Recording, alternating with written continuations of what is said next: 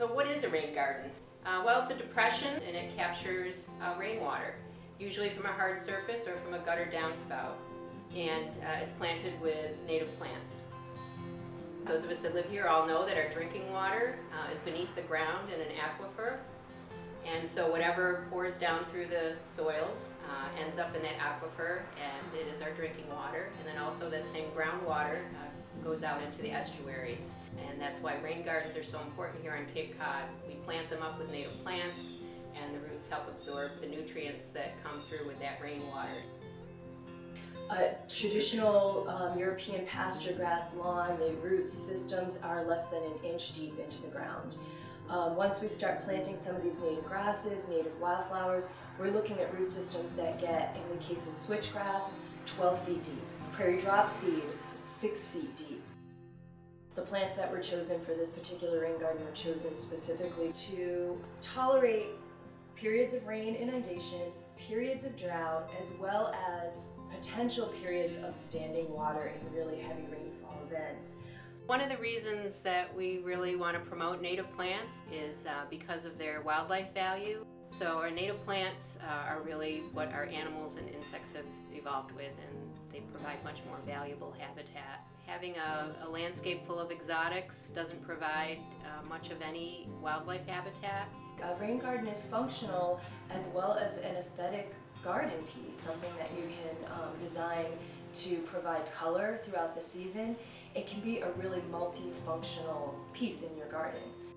For a homeowner, if you want to determine the size of your rain garden, you need to take a look at your property. If you're collecting it from a downspout, take a look at your roof and what parts of the roof uh, collect the rainwater that go down that downspout. And then estimate what the roof size is. And then there are lots of calculators online that you can simply just Google rain garden roof runoff calculation and um, you can plug the square footage in of your roof and it'll tell you how big your rain garden needs to be. And the rain amount that you need to plug in is about one inch per storm. We're talking about little residential um, homeowner type rain gardens. It's not uh, rocket science, as they say. The rain garden that we did, we hand dug. Uh, it was a little bit of effort, but it was hand dug and the soils were put up on one side. There was enough soil to create a berm on the lower side of the rain garden because you don't want the rain garden to simply overflow. In some larger cases, you may need uh, a contractor to do the work.